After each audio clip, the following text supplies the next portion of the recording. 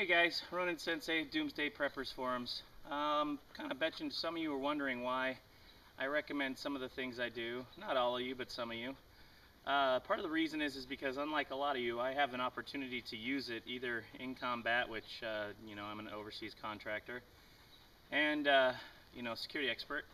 Also, I live on a farm. I have 20 acres out in uh, Southern California hills here, and uh, due to the storm, I have opportunities like this where I have a tree come down and it starts blocking the roadway, so I have to start cutting it up. Um, most people would probably go for a chainsaw in this circumstance, but uh, you know I like to use some of the tools I have. This is why I, uh, I recommend machetes like this. Uh, this is the Cold Steel Jungle Machete. You're looking at, I mean, at worst 30 bucks. I think, uh, I think at best about 20. Um, if you look at it, it's a very head-heavy design, which is what's nice, is that I can carry a machete that also functions similar to a hatchet. Uh, it does similar work, similar jobs to a hatchet, uh, but at the same time is small enough and nimble enough to be used as a machete if you'd like to use it as a machete. So it gives you all of those cutting options while at the same time staying functional. Also, you'll notice the thickness of this is a lot thicker than what most people are used to or accustomed to with machetes. It's on the borderline of short sword uh, with its thickness because you'll see there's not a lot of flex in it. There's some, but not a lot. Um, since it's uh, 1055 carbon, it's got just enough flex in it though, so it's not going to break on you very easy either. So uh, I'm going to go to work on this. This branch here is probably about four or five inches round, so uh, we'll see uh, if this makes quick work of it or not.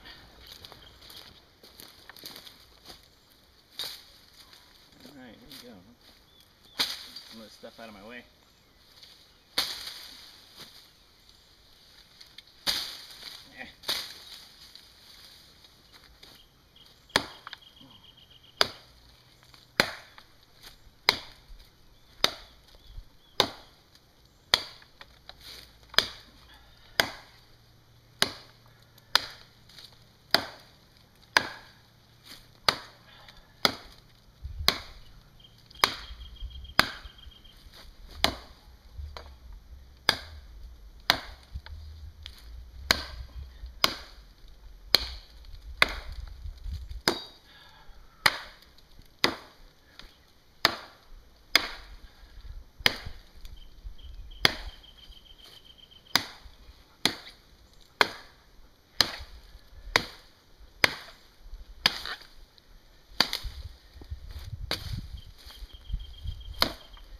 Well, there you go.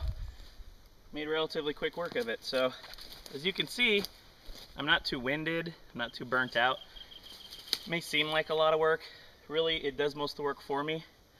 No hot spots on my hand that didn't feel bad at all. So, Cold Steel Jungle Machete makes uh, thick branch work even uh, relatively easy.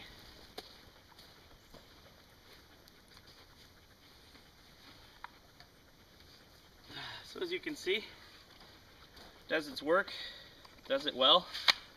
Doesn't come with this, I made this, but uh, in the end, it's very handy to have, especially when walking around the farm, even for rattlesnakes, things like that. So uh, this will gear up real easy. You can tie it onto your gear anywhere. Uh, it's fairly lightweight. I, I, don't really notice it. It doesn't really cut into me much. So anyways, uh, I hope this was informative. I hope that uh, you guys can uh, make an informed decision now. And uh, once again, Ronin Sensei for Doomsday Preppers Forums. Hope you guys like it.